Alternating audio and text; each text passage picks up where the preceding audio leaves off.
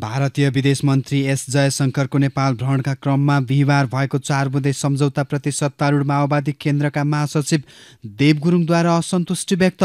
उच्च प्रभाव सामुदायिक विकास परियोजना एचआइसिडिपी अन्तर्गत खर्च गर्ने रकम बढाएर बिस करोड रुपियाँ पुर्याइएकोमा भारत नीतिप्रति आशंका व्यक्त।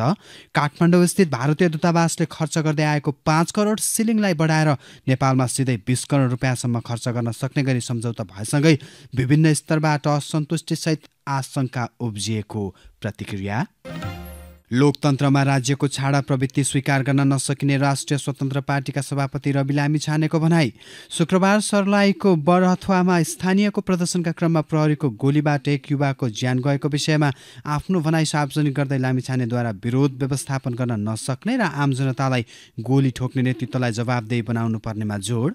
ललितपुरको बालकुमारीमा युवाहरूले गरेको प्रदर्शनमा प्रशासनले अत्याधिक बल प्रयोग गर्दा दुई युवाले ज्यान गुमाएको घटना नसेलाउँदै शुक्रबार सर्लाहीको बरहथुवामा स्थानीयको प्रदर्शनका क्रममा राज्यकै गोली खाई एक युवकको ज्यान जानु दुःखद भएको उल्लेख।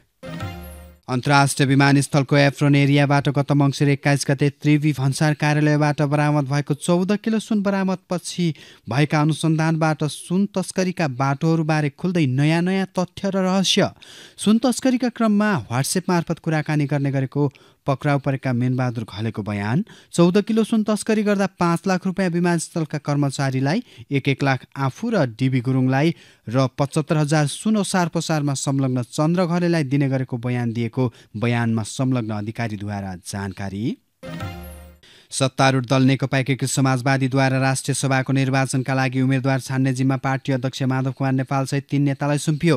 शनिबार पार्टी केन्द्रीय कार्यालय आलोकनगरमा बसेको पार्टीको सचिवालय बैठकले सुनिर्णय गरेको पार्टीका प्रवक्ता जगन्नाथ खतिवड़ाद्वारा जानकारी बैठकले राष्ट्रिय सभाको निर्वाचनका लागि पार्टीले कति सिट सङ्ख्या प्राप्त गर्ने कुन प्रदेशमा प्राप्त गर्ने र कुन क्लस्टरमा प्राप्त गर्ने भन्ने सम्पूर्ण अधिकार पार्टी अध्यक्ष माधव कुमार नेपाल पार्टी उपाध्यक्ष राजेन्द्र पाण्डे र पार्टी महासचिव घनश्याम भूषाललाई दिएको भनाई।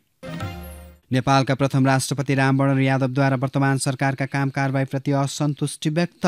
शनिबार काठमाडौँमा बिपीवाद नामक पुस्तकको रोपा लोकार्पण गर्दै प्रथम राष्ट्रपति यादवद्वारा अहिलेको सरकारले र अहिलेको नेपाली काङ्ग्रेस सहितका पार्टीहरूले राम्रो काम गर्न नसकेको जिकिर। देशमा शिक्षा स्वास्थ्य कृषिको अवस्था दयनीय भएको र दैनिक हजारौँ मानिसहरू विदेश गइरहेको प्रति गुनासो व्यक्त।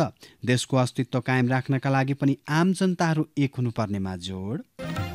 सहकारीको बचत दुरुपयोग गर्नेहरू कानुनको कटघरामा आउने अर्थमन्त्री डाक्टर प्रकाश रण महतको भनाई बचतकर्ताको विश्वास दुरुपयोग गर्नेहरू एक क्षणका लागि कानुनको दायराबाट भागे पनि सधैँ भाग्न नसक्ने जिकिर मेहनत गरेर जम्मा गरेको बचत केही व्यक्तिलाई दुरुपयोग गर्ने छुट नभएको उल्लेख। र दुई हप्तादेखि भैरवामा पुगेर बसेका पूर्व राजा ज्ञानेन्द्र शाहद्वारा शनिबार बुटवल उपमहानगरपालिका वार्ड नम्बर सातमा रहेको नीलकण्ठ बाबा धाम मन्दिरमा पूजा आराधना। पुस एक गतेबाट सुरु भएको शिवशक्ति एघार अति रुद्री महायज्ञ पूर्व राजाद्वारा पूजा आजा सो अवसरमा मन्दिर परिसरमा भेला भएका समर्थकहरूद्वारा राजा आऊ देश बचाउ लगायतका नाराबाजी पूर्व राजालाई मन्दिरका पुजारी तथा पदाधिकारीहरूद्वारा स्वागत।